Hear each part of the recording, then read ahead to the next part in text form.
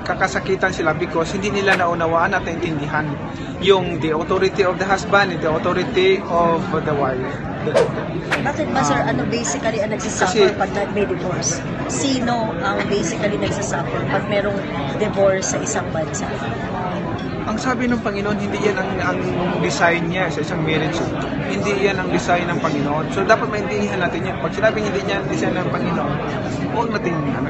Para, kasi, alam nyo, experience namin ito ha, pagka naintindihan